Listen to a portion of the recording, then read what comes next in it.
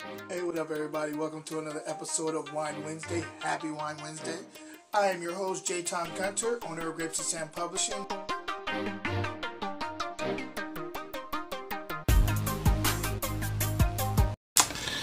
Hey, y'all. I hope everybody's having a great Wednesday. Uh, welcome. Uh, we're back for another one. I can't wait to get into this wine with you today. I think I have something that's really, I think it's very, very uh, special. Um, and it's just because of like what I've been reading up on it and stuff. And also, uh, spoiler alert, I have tried it before.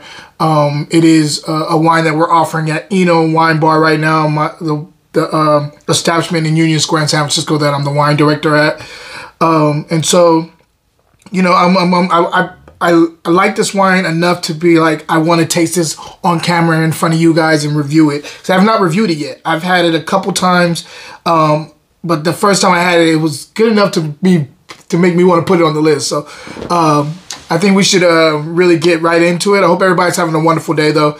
And um, also, I haven't done this in a while, but for the people who've been rocking with me thus far, who've been like in my comments, engaging with me on the questions of the days and all that stuff, I do appreciate you. I could not do this without you. And for the people who are brand new, I hope to get you in the comments. Hope that you, you know, uh, continue to follow me and continue to watch my videos. I do it every week. Uh, Wine Wednesday and a Wine Still of the Week at the end of the week. So uh, if you have any questions, hit me up, and um, I'm open to grow too. So if you have like um, you know suggestions or whatever, please hit me up with that too. I do listen. Uh, I'm not gonna take everybody's suggestion, but I will listen. So anyway, with that being said, you're not here for all that. You're here for the wine. So let's get into the wine.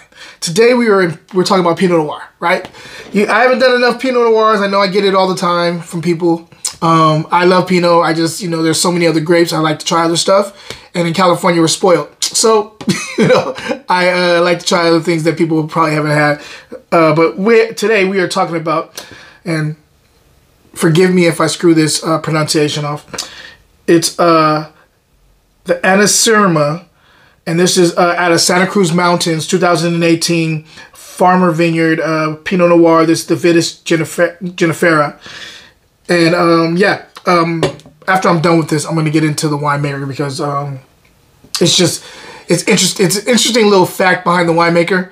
Um, after I tasted this wine, I heard the story. I was like, oh, this is kind of interesting. So anyway, let's get into it. On the nose, so I immediately get like um, kind of wild strawberries. I'm also getting definitely some um, some uh, perfectly ripe red cherries going on here too.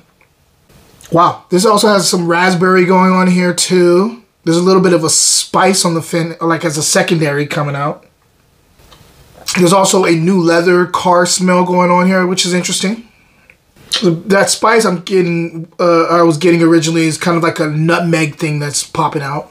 Yeah, that's pretty much what I'm getting. This is like a, a, a like a red fruited forward wine on the nose. There's a lot of berries going on here. And also, again, there's that cherry that's kind of like a, um, it's kind of battling it out with the strawberry, who's uh, the leader of this show.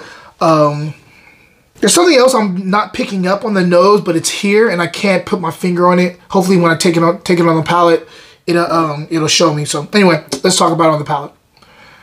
Cheers. This wine's delicious. Yeah, delicious. Um, has some earthy notes too that's now kicking in. I, I wasn't catching on the nose. Yeah, this wine's delicious. Um, so you're getting it's uh more on the cherry side, but it's also more cranberry too. There's like kind of this um raspberry, cranberry, strawberries kind of gotten kicked out. Maybe I got it on the nose, but on the palate, I'm getting more of like the the um, cherry, um, cranberry, and raspberry going on here up front and um, it extends to the finish, but the cranberry starts to kick in a little bit more in the mid palate to the finish here. acid is, I will say medium plus here. There's great minerality on the finish here too. Um, it, it opens up with fruit, But as it gets uh, further down the mid palate to the finish, it gets a little bit more structured. You're getting, and a little bit more complex. You're getting like some green herbs in the mid palate. You're also getting, like I was saying, a little bit of spice kick in the third quarter to the finisher. This has a very long finish. Um, it does not dip in the mid palate at all. It's very refreshing because of the acid and the minerality, but you're also getting some lushness of like California fruit. This is delicious and it's light. I mean, you see the color. It's like light, if you can see the color. It's pretty light, which I like uh, for my Pinots. I hate sometimes when they get a little over extracted, they get really dark and deep, and you have to be a master winemaker to pull that off with me. This one, this is where, I, this is the pocket that I like to sit in.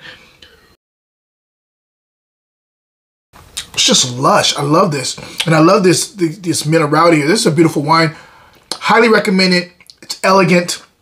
Um, the if I was to score this one, I have to go 91 plus. Yeah, I'm gonna go 91 plus on this wine.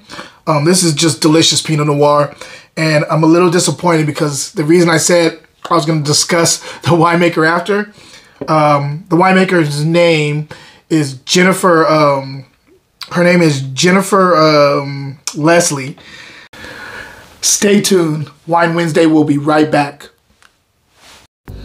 Hello, I am Jaton Gunter, sommelier and wine lover, and I'm back doing events. So whether you're a corporation or a private wine event planner, hit me up, DM me, and I will send you my pricing. Cheers. Now back to the show. She's no longer making wine. And when I tasted this wine and I found out she was no longer making this wine, I really wanted to just get in a car and drive down to where she lives. I don't know. I don't know where she lives. I've heard she's moved uh, from up here to you know down south somewhere.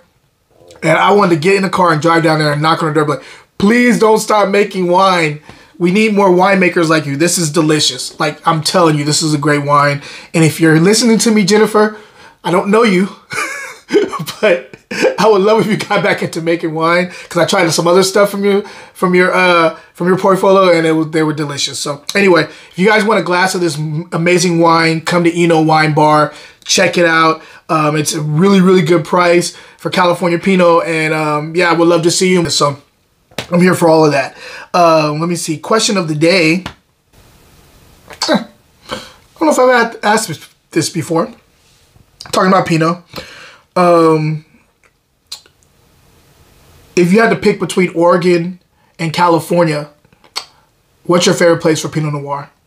And this is going to be polarizing question. This is a polarizing question, so I apologize up front because I know there's going to be people people who are very passionate about Oregon, Willamette, and other places, and people are very passionate about California. So um, I'd love to get your feedback, um, guys. Until next time, cheers. By the way, that fruit that I was trying to get that I could not put my finger on was pomegranate. I'm getting quite a bit of pomegranate on the palate. There's juice, pomegranate, and it is delicious. Just adds more complexity to this wine. Um, again, go grab a go grab a bottle. Cheers.